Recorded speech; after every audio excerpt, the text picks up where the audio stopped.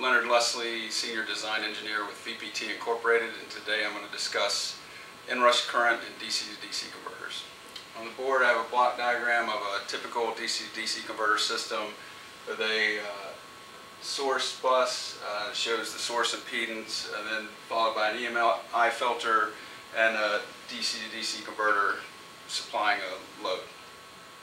Uh, the inrush current uh, that occurs on the startup of a DC to DC converter system like this, uh, composed of two regions. Uh, the graph here shows uh, there's an initial spike in current that's caused by the charging of the input capacitance in the DC to DC converter and any capacitance in the EMI filter. Now this particular part of the charging waveform in some, in some cases can be a problem for systems that have a uh, fast input voltage rise time uh, and also have a maximum inrush current spec for the system.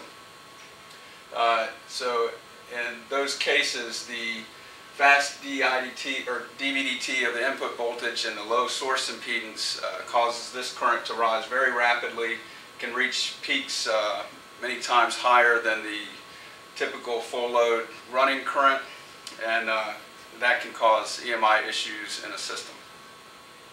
Now, the second region of the uh, inrush current waveform is uh, the charging of the output capacitance of the DC-DC converter and also any capacitance that's in the load. Uh, this is always well controlled when using uh, VPT DC-DC converters because they have a, a, soft start circuit that uh, slowly ramps up the output voltage to control that charging of those output capacitors. Uh, now in systems where inrush current limiting is an issue, and is required, VPT offers several products uh, that can control inrush current. Uh, this DV704A is a 2 amp EMI filter with integrated inrush current limiting. Uh, DVMN28 uh, is a 14 amp EMI filter with integrated inrush current limiting. And the VPT PCM is a preconditioning module uh, that does not have an EMI filter but does offer inrush current limiting.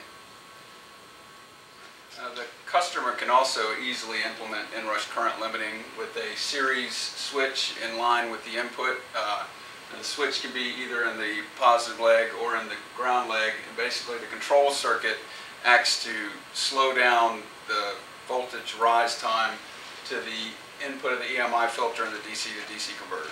This is basically what's implemented in these three products to limit inrush current.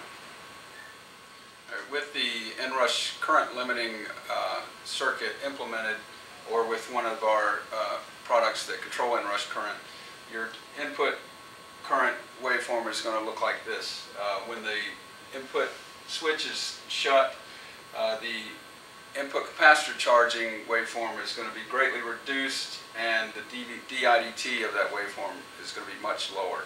Uh, that will improve EMI performance and also the peak of that current never exceeds the full load running current of the converter.